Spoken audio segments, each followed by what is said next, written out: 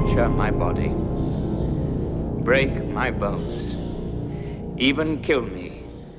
Then they will have my dead body, not my obedience.